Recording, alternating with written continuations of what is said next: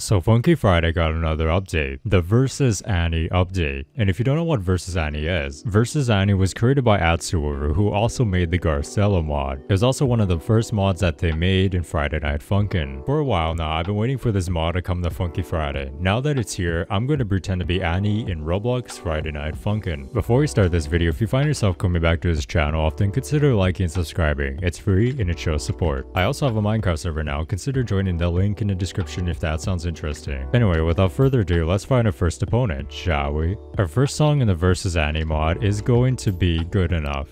Absolutely one of my most favorite songs in the entire mod. Three, two, one, go! I wish I was good enough.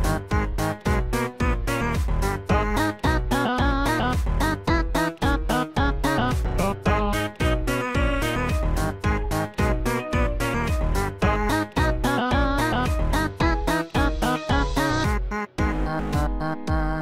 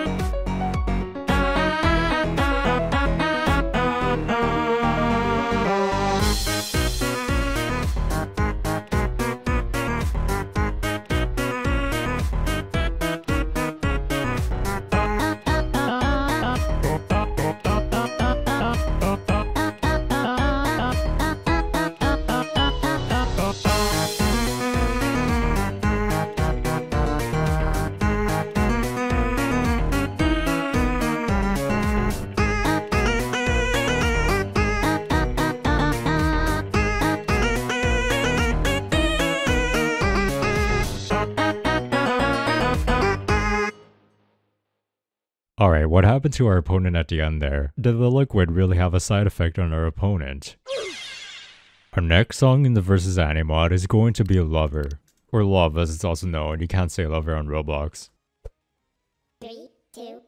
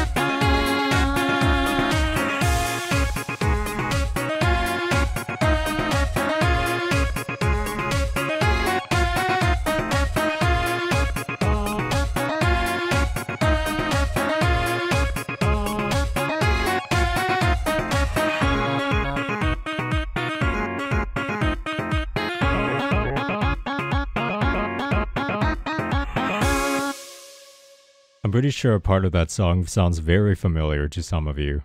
Pretty lovely performance from our opponent. At least the liquid wasn't too much. Our next song is going to be Tug of War, where things really pick up the pace. Three, two, one!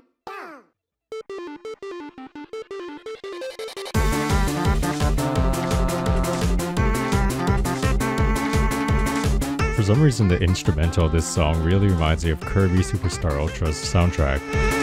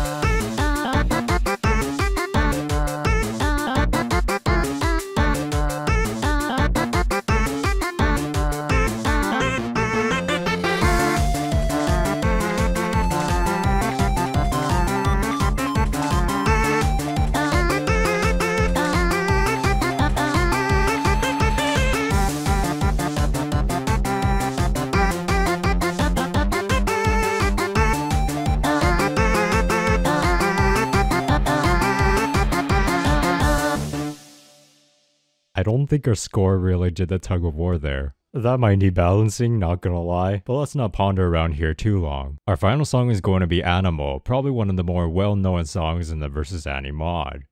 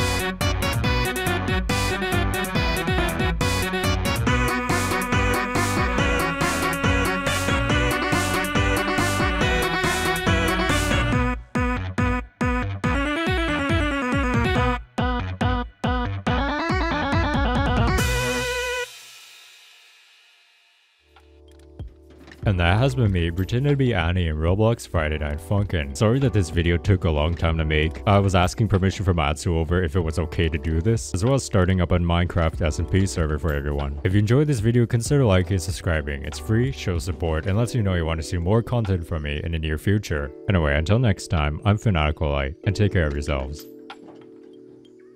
Tug of War needs to be severely rebalanced.